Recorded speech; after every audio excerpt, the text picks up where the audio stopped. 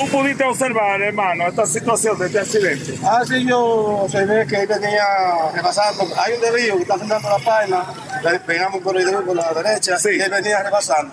Y vino y se estrelló con la defensa y cambió.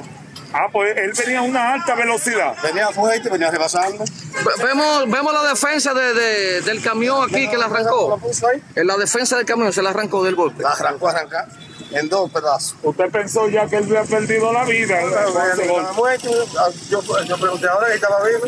Ese camión, eh, ¿a qué se dedica ese camión con la que él impactó? Él era amigo de una cisterna. Ah, de carga de agua, de cargar agua, ¿verdad? Él tiene su letrero ustedes, con los bomberos. Pero no- no- no-. No se sabe de dónde es esta persona. No, no. Luego por la pista, ¿eh? Ok. Repítanos su nombre. Eh, Leonardo. ¿Qué van a hacer ustedes ahora? ¿Van a ir a la DGC o algo así? Claro, hay que proceder, lo que sea. El muchacho también eh, eh, tiene los documentos de camión.